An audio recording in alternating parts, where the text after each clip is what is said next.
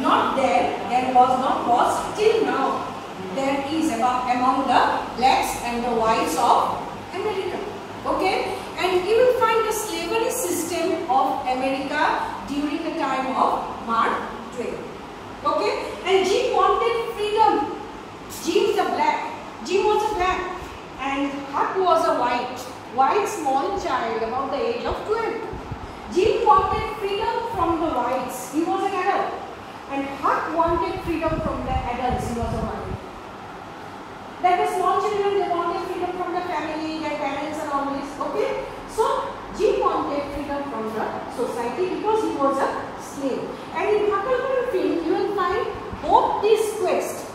The small child wanted freedom from the children, from the parents and the society, and Jim wanted freedom from slavery. And this story, this this incident, not incident, this novelette is taken on the banks of the river Mississippi.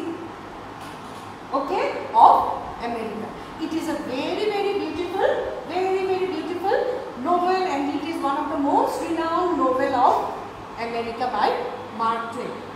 Okay, and we shall proceed with the next, uh, uh, like uh, next whatever you have not understood. I will talk to you in the next class. Okay, thank you.